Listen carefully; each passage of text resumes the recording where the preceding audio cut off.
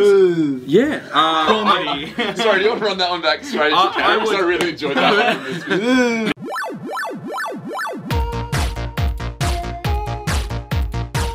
All right, we've ditched Brendo. I'm hosting this week, which is going to go absolutely terribly given it's about wine. But here we are. So you Better dressed. the question I Yeah, yeah, yeah. Have you heard of tucking a shirt in, man? Anyway, I know, man. I was just- Um, now, the question I have for you is Do you ever think to yourself, wow, I'm really enjoying pouring this person a glass of wine right now? I wish I could be doing it to more people at the same time. yeah. You definitely like have, actually like legit. I, Yeah, wa- I wanted actually, to give him shit for it, but yeah, I do I, it all I the mean, time. I well, this the bar that we're in, Unico Go. I used to had to serve five people. I have to do it one at a time. I think there was a way I could get all five people. All five one people in one hit. So I've solved the problem. The only problem we now need to solve are the laws of physics. Because what I've got for you Okay. is a bottle of wine. If we reveal what the bottle of wine actually has going on inside of it, though,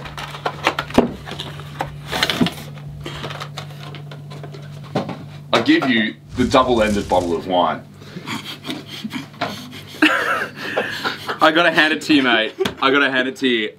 Uh, I've been involved in this industry for a while. Yeah. And you have just managed to do something. Um, This is the most dangerous game of spin the bottle. I, I've never encountered this uh, item at all ever. I've encountered some weird stuff, man. I've encountered like wine in a um, in a light bulb, Yep. sealed in a light Yeah. bulb, Yeah. electrico. Yeah, amazing stuff. I've never encountered. I don't even know how you'd bottle this. Well, you know what you. I, I was literally thinking the same thing, but you bottle one end and then you flip it upside down. and You bottle the other end. In yeah, totally, totally. In theory, but I mean, I'm I'm assuming because Van de Doc. So this is a a wine that is made in really large quantities. So they've got a custom bottling machine. Sure. They have a bottling machine that somehow manages to defy the laws of physics, shoot wine in really quick, and then quickly bottle it before. Well, no, what you'd do is you'd have the cork at the top, you'd shoot it from below, and then pressure, and then get the cork underneath. Why on earth would the other way you? Why on earth would you Who do knows? that? Why wouldn't you do the simple thing of take your empty bottle, put a cork in the bottom of it, fill it up from the top, put a cork in the top?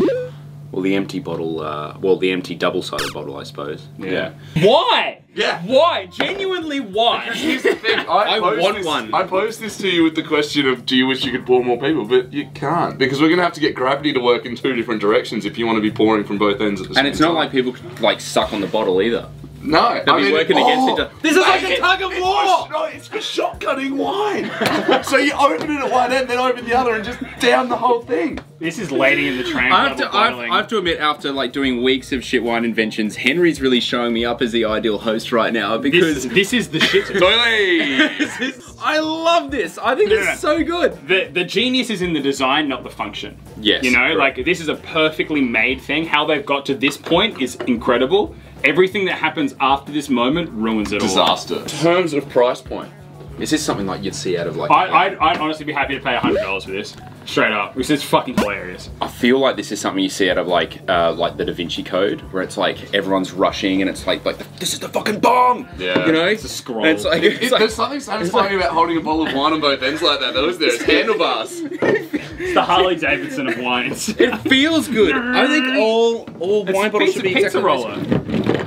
This. It's got uses after. This is utterly fantastic. Now, uh, as to the price thing, you said hundred bucks. Um, That's what I'd be happy to pay. Uh, since it's vintage, you know it's going to be a little bit. it's gonna be cheap. It's gonna be cheap. also add, add on Um, more It, doesn't, price it also the- doesn't have a year on there, and It doesn't have vintage, so which means it's probably like a mixture of vintage. I like how it's it, there's a name to it. There's there's like a brand to this bottle. It's called the Buy Bottle. It goes both ways. I mean, it does in the strict sense of the terms. It does. Yeah. Uh, Comedy. Sorry, do you want to run that one back straight into I- I character? 'Cause I, would- really enjoyed that one. yeah, I would uh, I would pay like 45 Aussie, 50 Aussie for this. 45 one. Aussie, 50 Yeah. Aussie. All right, great Yeah. news. Um, we don't actually have a price. I found it in Dad's cellar, so I'll take him the offer of $100. It could be yours this time. I'll see what he reckons. Um, Do we need to take this back to him? Look, here's the thing. I don't know if he's going to watch this show, so if we really wanted to, we could open it, see what happens. And I then just want to know what it tastes like. Oh, it's going to taste like shit, mate. It's been- Yeah, but uh, But it's Cabernet, and it and it can't be that old. Cabernet from who knows fucking where.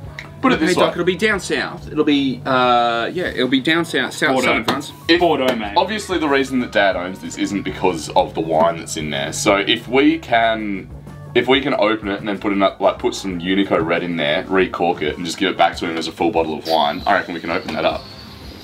We could, we could put a cool color bottle of wine, like that's a really nice bright red.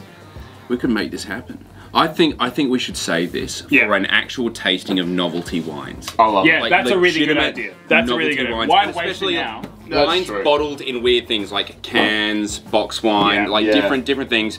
This, Henry, I got to hand it to you, mate. This is the coolest thing I've seen. I've seen in a while, man. That's insane. Anyway, um, this is the first thing of value I've added to the wine part of the business in a very long time. So, thanks for tuning in, guys. I'll probably host again in another 15 years when I've got something equally as weird. Cheers.